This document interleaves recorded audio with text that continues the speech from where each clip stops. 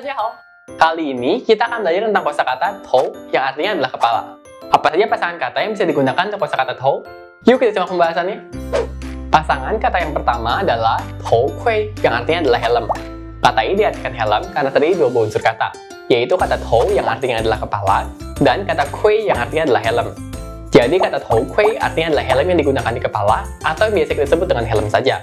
Contoh kalimatnya adalah 这种头盔价格很贵 yang artinya adalah helm jenis ini harganya sangat mahal. Kemudian pasangan kata berikutnya adalah tou teng yang artinya adalah sakit kepala. Kata ini juga terdiri dua unsur kata, yaitu kata tou yang artinya adalah kepala dan kata teng yang artinya adalah sakit. Jadi jika kedua kata ini digabungkan, maka artinya akan menjadi sakit kepala.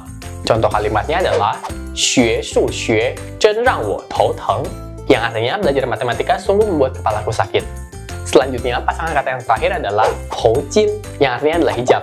Kata ini juga terdiri dua unsur kata, yaitu kata tou yang artinya adalah kepala dan kata jin yang artinya handuk atau kain.